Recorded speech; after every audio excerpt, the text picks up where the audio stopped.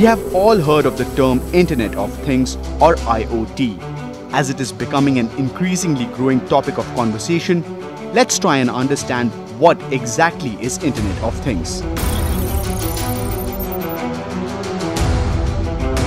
You may be watching this video on your PC or phone and it is connected to the internet. Internet on your device could be connected through broadband or Wi-Fi.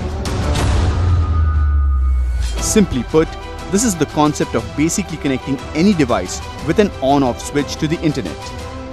There is people-to-people -people connection, there is people-to-machine connection, and then we have machine-to-machine -machine connection.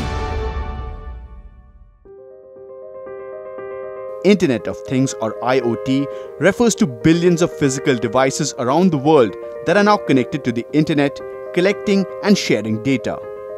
As the price of processors and wireless networks go down, Technology is becoming cheap and penetration of smartphones are skyrocketing.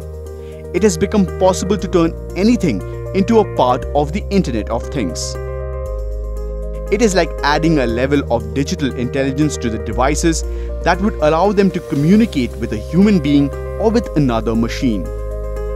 And that's not all.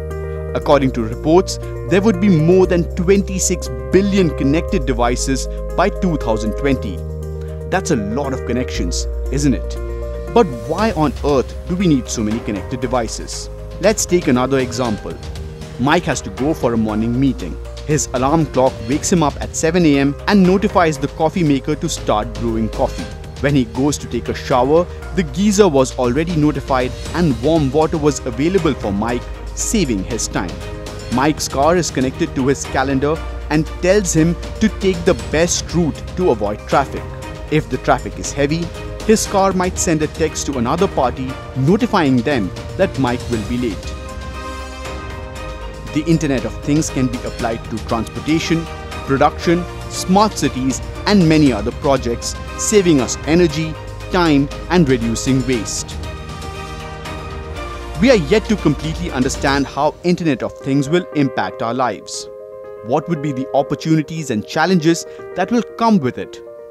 For now, the best thing that we can do is to educate ourselves about Internet of Things because IoT Storm is here to stay and the new rule of the future is going to be anything that can be connected will be connected.